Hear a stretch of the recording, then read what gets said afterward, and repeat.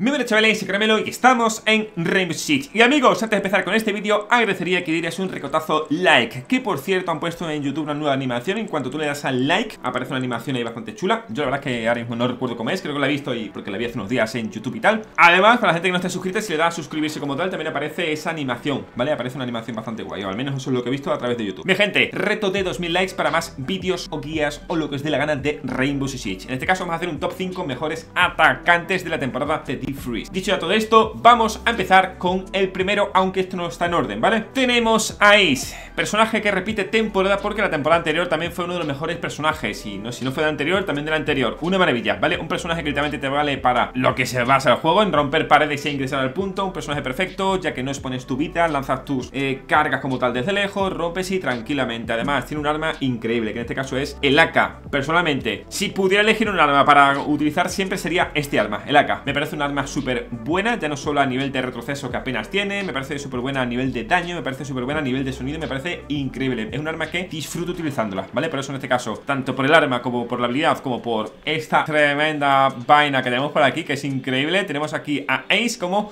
uno de los top 5 mejores atacantes de esta temporada de Freeze. Personaje que entró nuevo hace unas temporadas, pero que es magnífico, es muy bueno. Un personaje que no es un cambiametas, pero que casi, ¿vale? Porque al final se tiene que empezar a defender de otra manera en el momento que hay una run, se tiene que actuar de manera diferente cuando hay una run, y eso la verdad es que mola mucho, ¿vale? Su arma me encanta, que es la R4 CDA, aunque obviamente el tema del recoil es bastante potente, pero bueno, teniendo una 2.0, una mira larga como tal, es increíble. Por eso, entre el arma, entre la vestimenta, eso táctico que está guapísimo y por supuesto, si no, no lo incluyen en este top 5 por su habilidad, que literalmente abre todos los techos, absolutamente todo, prácticamente sin exponerse, me parece un personaje increíble, grande mi coreana, grande. Y como no, iba a incluir yo a Osha, un personaje que te sirve para todo, parece un personaje support, pero hostia, es que este personaje support tiene un pedazo de ataque que te cagas, ¿vale? Tanto por el arma, tanto el tema de la velocidad que tiene, tanto por el arma, tanto el tema del escudo que puedes ir pusheando tranquilamente, me parece increíble, la verdad, el, tema de que puedas poner ahí ese escudo donde te dé la gana que puedas ver todo, que sí que los demás también te ven, pero da igual, tienes un arma increíble, tienes humos, tienes,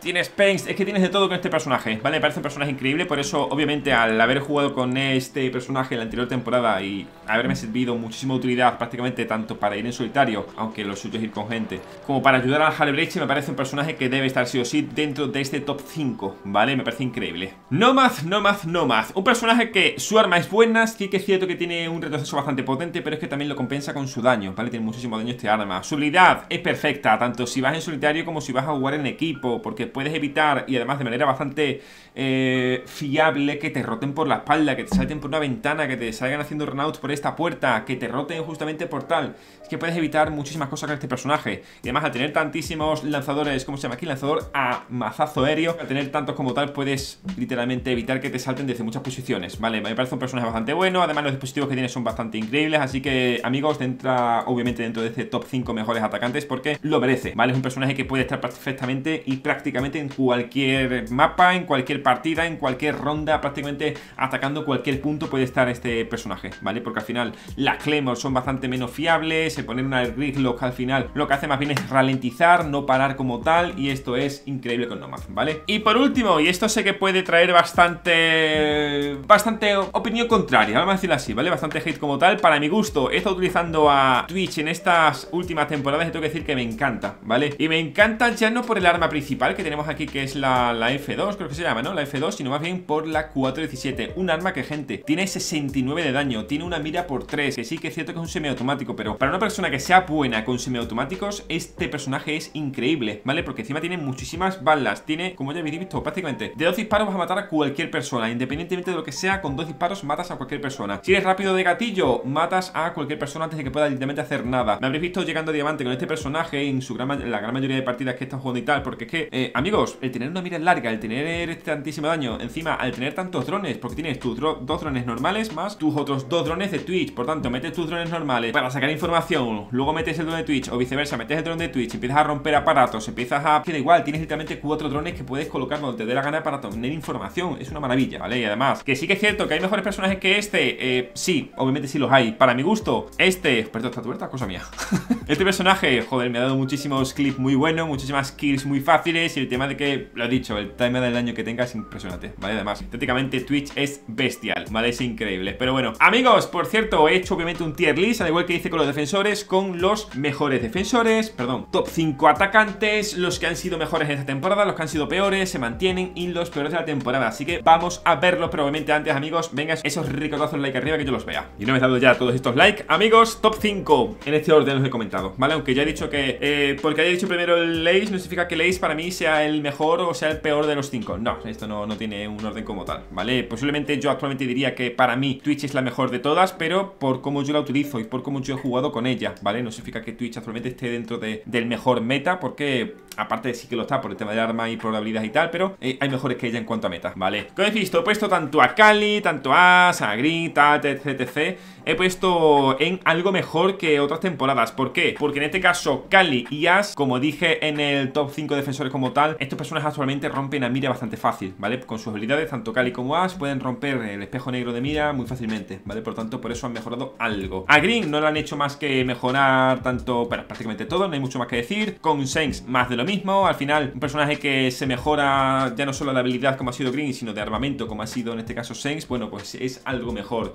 ¿Esto significa que va a ser un personaje más usado? No tiene por qué, ¿vale? No, influye en ese aspecto. Jink, allí la he puesto aquí, no porque sea algo mejor, sino simplemente porque es un personaje que no está dentro del top 5 como tal, porque eh, al final Warden también está dentro de ese top 5, ¿vale? Y Warden sigue siendo un personaje muy fuerte. Si está Warden casi todas las partidas de Rainbow Six en defensa, coger al final una Jink contra este Warden, a no ser que maten al Warden de primeras, es bastante trolear, por así decirlo, ¿vale? Igualmente Jink es un personaje muy fuerte. Y IQ, aquí voy a poner a IQ, al igual que prácticamente a todos los personajes que le han dado granadas, los voy a poner como personajes eh, que han mejorado, ¿vale? Pero a la vez han empeorado, ¿vale? os explicaré por qué. Al final IQ no tenía granadas, ahora que tiene granadas se vuelve algo mejor. Sin embargo, ¿por qué Sledge, que ya tenía granadas, se ha vuelto algo peor? Porque al final el Sledge era un personaje que se utilizaba para romper desde abajo, romper techos, romper suelos, bueno, más bien romper suelo con el tema de, del martillo, pero ¿por qué ha empeorado? En este caso porque las granadas ya no se pueden calentar y al no calentarse su función queda algo más desviada, por así decirlo. Igualmente sigue siendo un personaje fuerte, pero eh, en esta temporada se vuelve algo peor. Eh, todos los personajes que veis aquí, en como siempre, que han tenido un aumento o le han añadido las granadas, esos irían en algo mejor. Pero bueno, por hacer un pequeño resumen, lo pongo así, ¿vale? En algo peor, como ya he dicho, está Sledge, por el tema de que ya las granadas no se pueden calentar, entonces su función queda bastante más, digamos, eclipsada, más decirlo así. Pero bueno, los peores de la temporada, tanto Nock como Blackbeard. Es una pena, gente, que en este caso Nock era uno de los personajes que más se utilizaban hace algunas temporadas porque eran bastante top. El tema de ir en silencio, el tema de, ser inmune a las cámaras mientras no hacía ruido era increíble. El armamento es que era bastante pocho, para mi gusto no me gustaba absolutamente nada, pero se convirtió en un personaje bastante bueno. Hoy en día, al haberle quitado el que haga, el que haga digamos, ruido, o el que actualmente haga ruido cuando estás con la habilidad puesta, no tiene ningún sentido, la verdad. Que sí, que este personaje puede ser muy bueno a nivel competitivo, a nivel profesional, porque hay muchísima más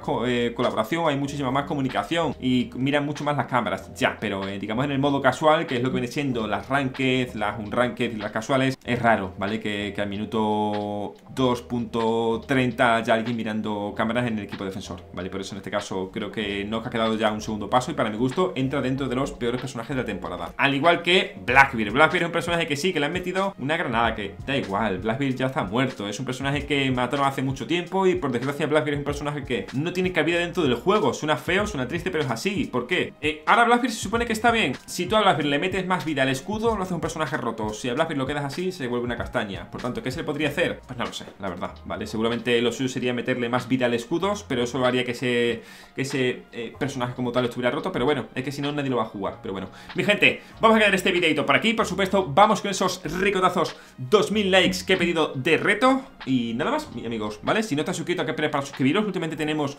muy poquitas suscripciones, así que os animo fervientemente, fervientemente fervientemente, fervientemente, en fin, que os anima mucho, ¿vale? A que os suscribáis, ¿vale? Si no lo estáis. Además, os lo he dicho, han puesto esa animación para que cuando la gente se suscriba o dé like, aparezcan unos brillos, o no sé muy bien qué es lo que aparece, ¿vale? Pero es lo que he visto por parte de YouTube y todas esas cositas. Bien, gente, si queréis más tier list o más vídeos de mejor tal, peor tal, me lo comentáis, eh, me lo ponéis en los comentarios. Oye, Caramelo, ¿y si hace esta el vídeo? Digo, por mí encantado, ¿vale? Voy a traer muchísimas guías, muchísimos vídeos de este estilo en la próxima temporada. Y a partir de ahora, en principio, espero que siempre.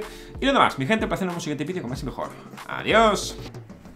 ¿Cómo? ¿Que aún sigues por aquí? No te preocupes, lo entiendo. ¿Quieres seguir viendo más vídeos míos? Lo entiendo, no te preocupes. Mira, por aquí te dejo una lista de reproducción para que veas ahí todo lo que te dé la gana de mi canal. Y por el otro lado, no te preocupes, el último vídeo subido en mi canal. Sí, sí, sí, como te lo digo. Venga, ahora sí que sí. Hasta luego, ¿eh? Pero dale, que te veo.